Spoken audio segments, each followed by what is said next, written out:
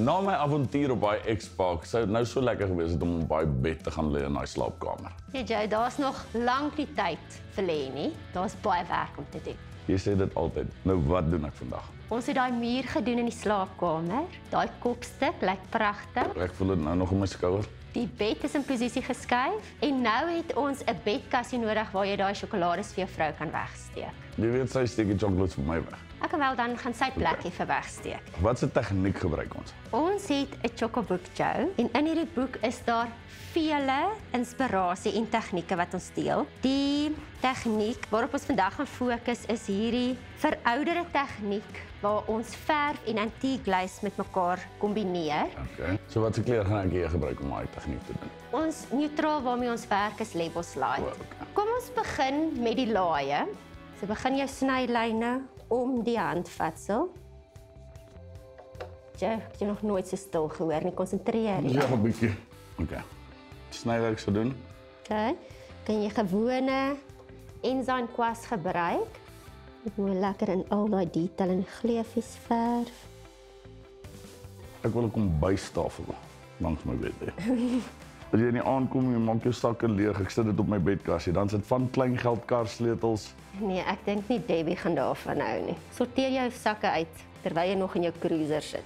Wat ek hou van hierdie verf en kwas, jy kry nogal baie uit so 'n bietjie verf. uit. Jy kom ver met min. Hierdie is die eerste laag jou. En soos jy weet, is jou eerste laag altyd die fondasielaag. Hy moet goed droog voordat jy jou tweede laag aanwend en dan kan ons verder skep. Ek dink dis 'n goeie ding dat ek en Nadine gou die eerste laag klaar maak, wag laat hy droog word en dan sien ons julle net hierna.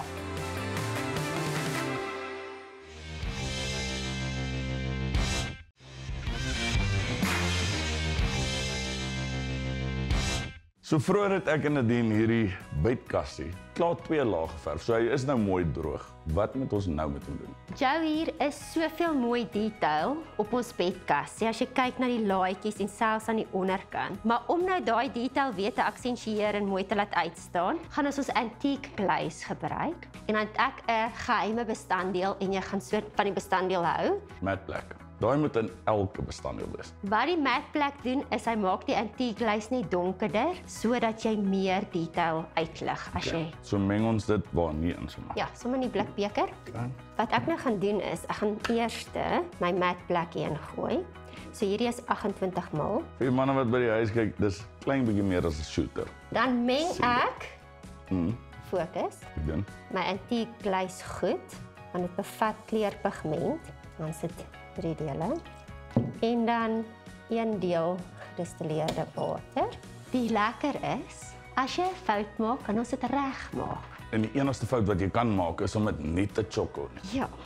En ek verf nou in daai detail, klein areas op 'n slag want hy word relatief vinnig droog die antiek glaze. Mm. En jy vee af met jou natlappie. En jy sien hoe kom die detail terug, Joe. As 'n liedjie in daai, bring die detail weer terug. wat moet ons nog met hierdie kas doen? Nou kan ons net die laaie terugskuif en dan die kaskamer toe dra.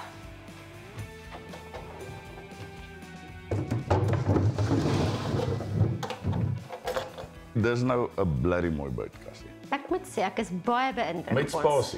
Spasie. Sleutels hier, beursie daar, koelrang water, Nee, wat ook al jy nee. nodig het. Nee, moenie idees kry nie. So as jy hierdie verouderingstegniek by jou huis wil toepas, is 5 wenke. Ja.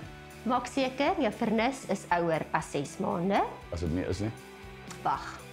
wag. Wenk nommer 2 is Doen die snylyne met 'n kunstenaarskwas. mooi. Wenk nommer 3, Verf altyd.